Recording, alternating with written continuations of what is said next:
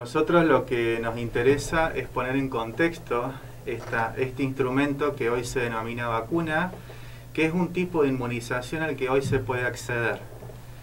Eh, digo poner en contexto porque las personas que participan de esto que usted nos pregunta, que es la logística, eh, para super abreviar, digamos, de qué se trata lo que hoy, nos toca hacer, eh, es el mismo equipo que viene trabajando desde el 20 de marzo que se decreta la cuarentena, el, aislamiento obligatorio. Digo, desde ese decreto para acá es el mismo equipo, que en aquel momento se tuvo que hacer cargo de este, cuestiones que tenían que ver con la disposición del sistema de salud en general de la localidad, en articulación y supervisión y, asesoramiento técnico con las localidades de, este, del hospital regional y de la provincia y de la nación.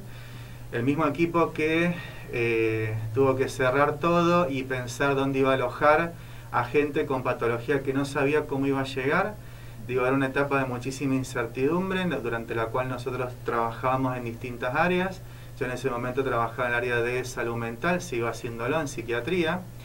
Eh, la urgencia de uno tenía que ver con cómo hacíamos con aquellas personas que no podían llegar al hospital en ese momento y salir a asistirlos a sus domicilios, aquellas personas con patología, con, este, con carencia de eh, la posibilidad de recurso de asistencia, de medicación, etcétera, etcétera.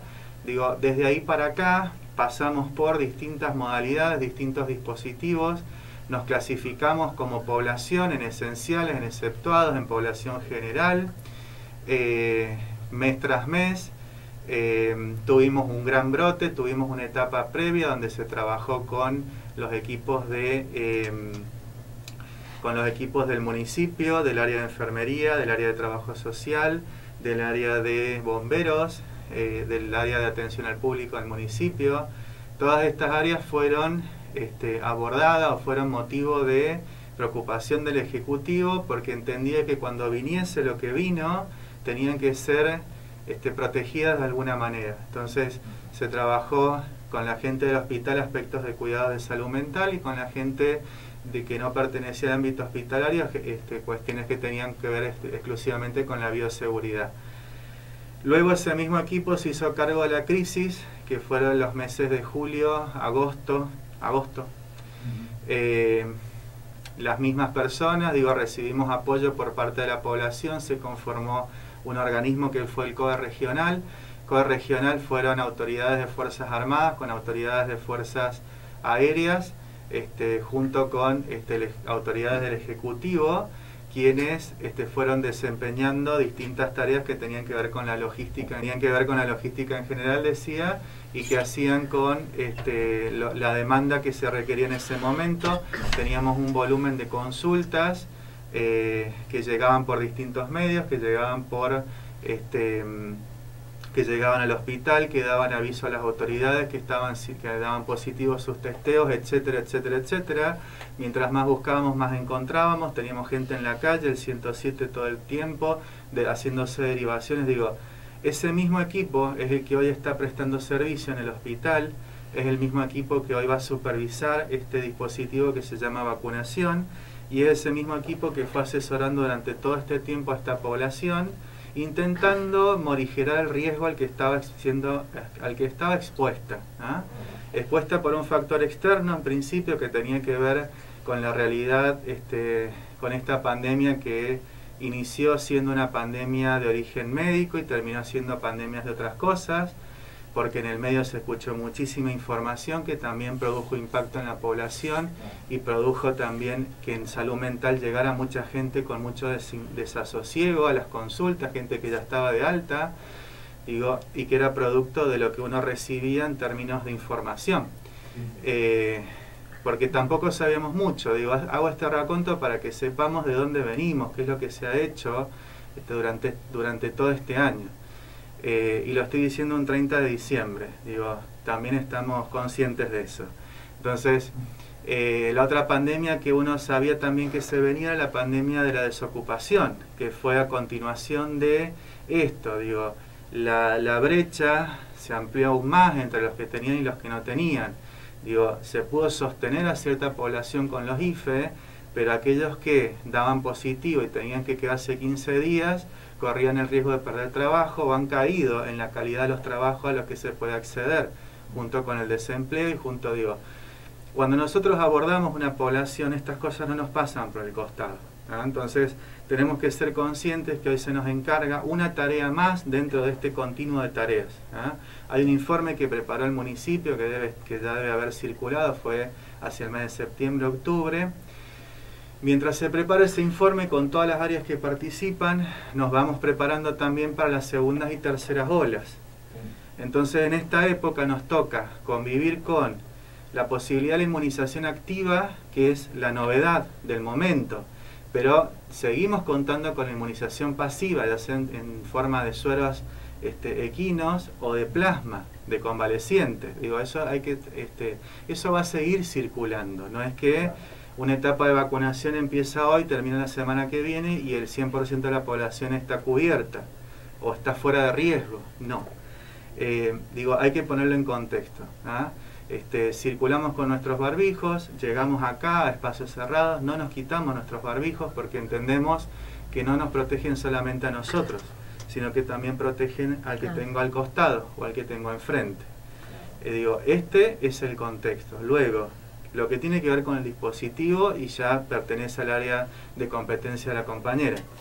Pero no podemos dejar este, de, ponerlo en contexto, de, saber que este, nuestras autoridades, el Ejecutivo, la gente del hospital, sigue trabajando ¿ah? con refuerzos, eh, de dejar de pedir colaboración a la población en este sentido, de bajar el riesgo y de decir también que una campaña de vacunación inicia en este momento con fecha indeterminada, próxima pero indeterminada, con cantidad de dosis a definir también, depende de, las autoridades lo que ellos dispongan en función de lo que nosotros informamos, con mecanismos de supervisión y control de todo el dispositivo. Se nos exige que informemos absolutamente todo, desde el responsable que recibe hasta el responsable que despide a la persona y el que supervisa. Último, y le doy paso a la compañera, la figura más importante durante todo este proceso no va a ser el Estado, va a ser, fíjese usted, el médico de cabecera de cada familia. El médico de cabecera de cada familia va a ser la figura protagonista de esta situación, porque va a ser la persona a la que se va a referir uno cuando no sepa qué hacer, si se da o no se da la vacuna, eh, qué hace si le aparece una roncha, qué hace durante todo el proceso. ¿ah? Estamos pensando en un proceso de meses también. ¿ah? Digo, lo puntual específico, creo que Susana lo puede comentar también. Ahora a mí lo que me compete comunicar es sobre el tema de la campaña, que no comenzó ahora, sino que ha comenzado medianamente mediados de noviembre. Con nosotros eh, comenzamos todos con un prellenado de, de, de unas eh, planillas. En base a eso fuimos eh, recibiendo nuevos lineamientos, que son todos los días, todos los días nos dan lineamientos nuevos hemos armado un sistema operativo y logístico para la campaña que eh, yo que llevo siete años en la parte de vacunación es la primera vez que me toca hacerlo de esta magnitud. Va a ser una campaña masiva y exhaustiva eh, que aproximadamente tiene que durar entre cinco días para la mayor cantidad de población en riesgo según consideran los lineamientos de cada, de cada, de cada provincia, digamos, y, bueno, y que lleva muchísimo trabajo. Eh, y no solo mío de planeamiento, sino a nivel eh, de, de, todos los que participan en el, en el sistema operativo de esta campaña. el acompañamiento de los compañeros, eh, los que van a trabajar, los que van a recibir a la gente, los que van a vacunar, los que van a cargar el sistema. Eh, la verdad que eh, no tengo más que palabras de agradecimiento hacia cada uno de mis compañeros porque son los que se ofrecieron para ayudarme en esto.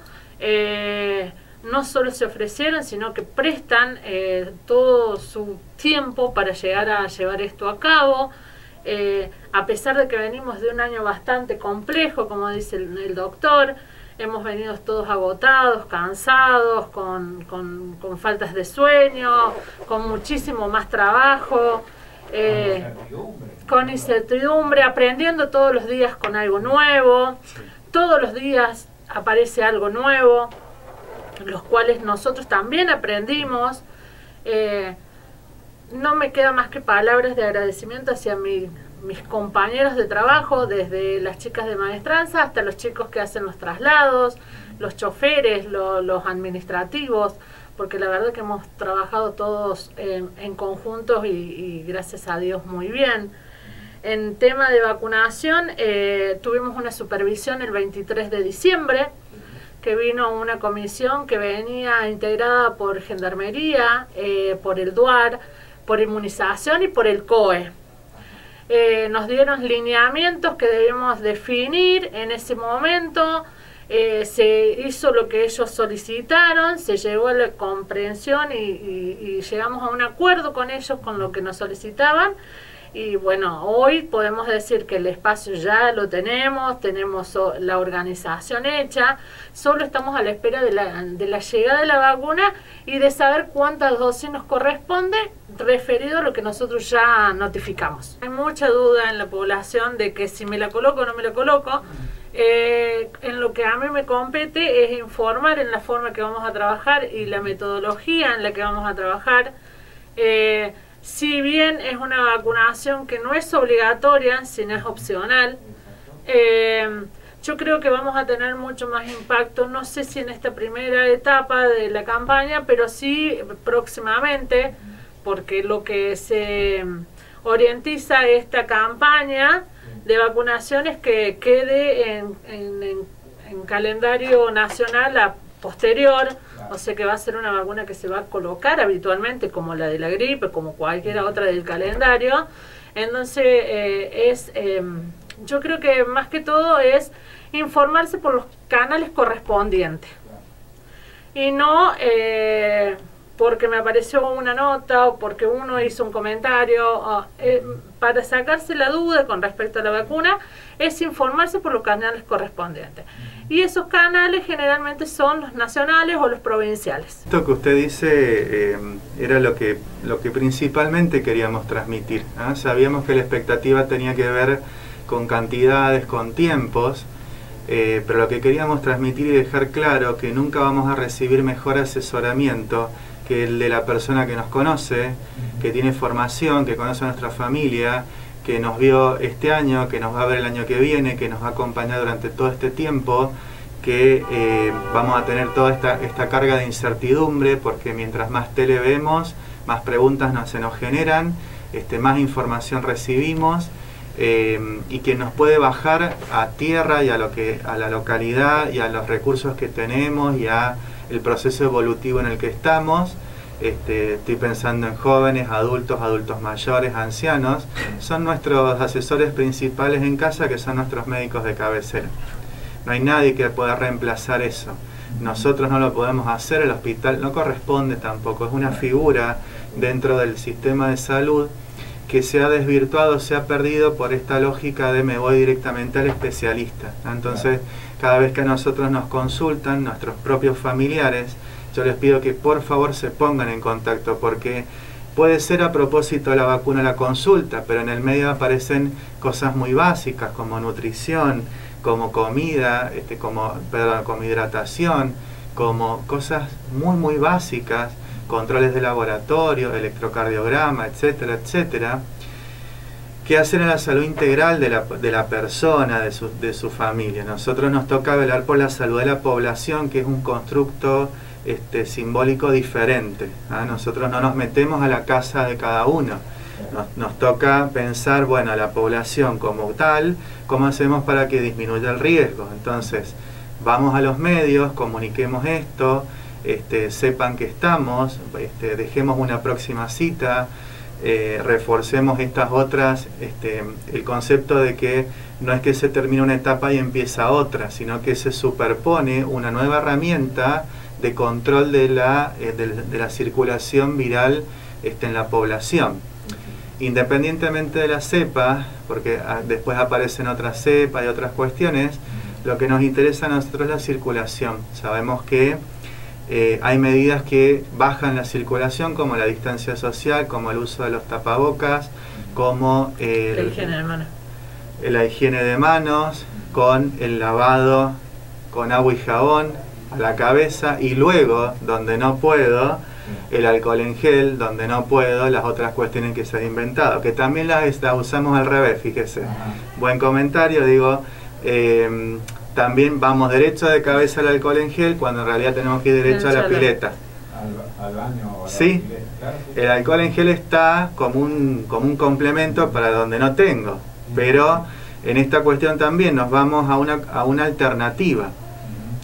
La cuestión de la prescripción farmacológica, por supuesto que siempre a mí me da mucha más tranquilidad que lo haga mi médico, a que lo haga un médico, un colega en el pasillo, este, u otro que tomó y yo veo qué onda. Este, sí. Y respecto puntualmente a la campaña de vacunación, lo que nos toca a nosotros y estos efectos adversos que usted nombraba, que pueden ser locales, generales, como la hipertermia, la temperatura, este, la, hinchazón, el edema, el enrojecimiento, todas estas cuestiones que hacen a cualquier vacuna porque este, generan una respuesta, es lo que buscan, generan una respuesta del organismo, depende del organismo tal cual usted lo dijo, la respuesta, el volumen y el tiempo, eh, está contemplado un dispositivo de supervisión también de efectos adversos porque es parte de lo que significa la aplicación de una vacuna. ¿Ah? Es parte de eso. También supervisar, estar atentos e informar a las autoridades. Ellos nos confían a nosotros el recurso, pero nos piden que les informemos hasta el último detalle. Nos dan un listado de cosas que no se nos olvida nada, hasta el tachito donde tenemos que tirar las cosas, hasta el cronómetro para cuando se saca la vacuna del freezer, hasta la cantidad de HP que requiere el generador para sostener ese freezer que ellos vinieron a ver el 23 de diciembre. En realidad eh, se hace de forma escalonada y en requerimiento al, al, al contacto con el virus. O sea, ¿quién está más expuesto al virus? Es el que va a recibir primero la vacunación. Entonces, el paciente que más en contacto está, por eso se hace al sistema de salud primero, porque es el que recibe al paciente infectado. Entonces, tenemos que proteger eso.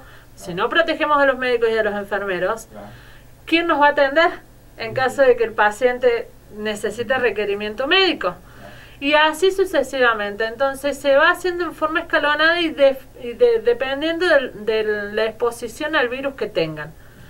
Por eso se comienza primero con el sistema de salud. Y de ahí para abajo, lo que es sistema de salud, personal esencial y tomas de decisiones.